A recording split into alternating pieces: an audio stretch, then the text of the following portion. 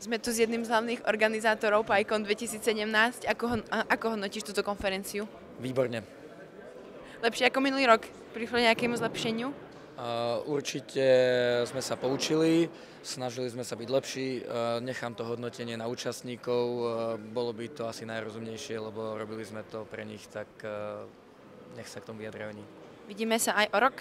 Dúfam, že áno. Výborne. Ďakujeme veľmi pekne. Ako bolo na PyCone? No, na Pajkoně bylo určitě skvělé, úžasně, výborně. Môžeme s vami spraviť taký krátky rozhovor. Bola by som rada, keby ste sa nám predstavili. Já jsem Jakub Ejhal. Já jsem Adam Ježek a jsme z gymnázia v Roudnici nad Labem. A čo tu konkrétne robíte?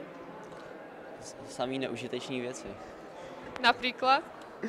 Tak předvádíme, máme tady uh, LED panel z adresovatelných LED pásků, v podstatě je to displej s rozlišením 15x9 pixelů, Uh, pak běhací hra vlaječky, prostě běhat tam, kde se zve- zvednou vlaječky, nebo z druhé strany máme floppy music na Pythonu.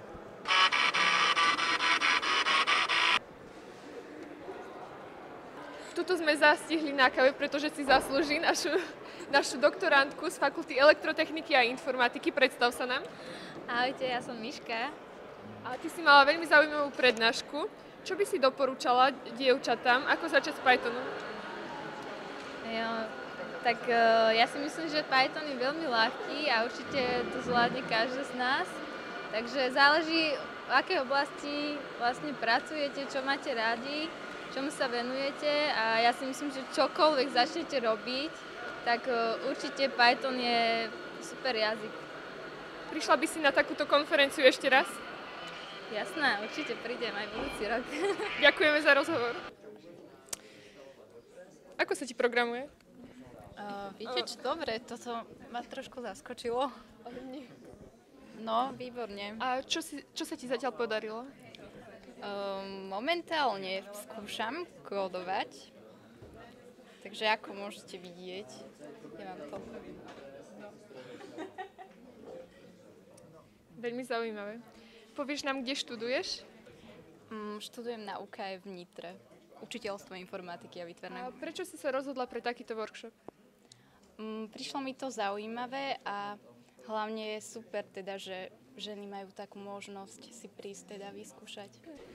Ahoj, ako sa ti podarilo dostať na Django Girls 2017? O, oslovila ma moja kamarátka Mary, ktorá toto organizuje, že či by som mohol mentorovať teraz Django Girls, keďže mám nejaké teda skúsenosti s Django aj vývojom webových aplikácií a že som tak mohol pomôcť nejakým spôsobom naučiť tieto vedomosti. A ako sa ti darí motivovať tieto tri ženy, ktoré máš pod svojou záštitou? Myslím, že toto je skôr otázka na nich, že ako sa mi to darí. A aká motivácia na teba platí? Tak chcem sa naučiť čo najviac. A ako si spokojná so svojím lektorom? Výborne, lebo ide s nami tak krok po kroku a vysvetľuje nám všetko a fakt super. A čo študuješ? A ja som na gymnáziu tretiačka. Takže budúci rok si podáš prihlášku na FIT STU? Je to možné. Výborne. Grat- Ďakujeme za rozhovor. Tak už tu máme pri sebe jednu z organizátoriek Django workshopu. Prečo si sa rozhodla pomôcť pri organizovaní? Ja som programátorka, takže ja som žena, žena v IT a viem, viem teda z vlastnej skúsenosti, že je nás málo a že by bolo fajn, keby sa do tohto odvetvia pridalo viacej žien a práve preto takéto niečo organizujeme, že chceme dievčatám ukázať, že je to zaujímavé a že je to aj pre nich, že nie je to len pre chalanov, len pre tých, ktorí majú veľké okuliare a zhrbení sedia za počítačom, že sú tam aj normálni ľudia. A dievčatá sa často boja, že keď niekam prídu, že tam budú samé a že iba sami chalani, tak potom neprídu a toto je presne pre tie dievčatá, ktoré, ktoré majú trošku z tohto stres, že toto je vyslovene pre ne a keď prídu, tak nemusia sa báť, bude tu kopec iných dievčat s nimi, budú, budú, máme tu mentorov, ktorí sa im venujú, takže, takže nemusia sa vôbec ničoho báť a úplne od začiatku si všetko vysvetlíme. Čo by si nám chcela ešte povedať?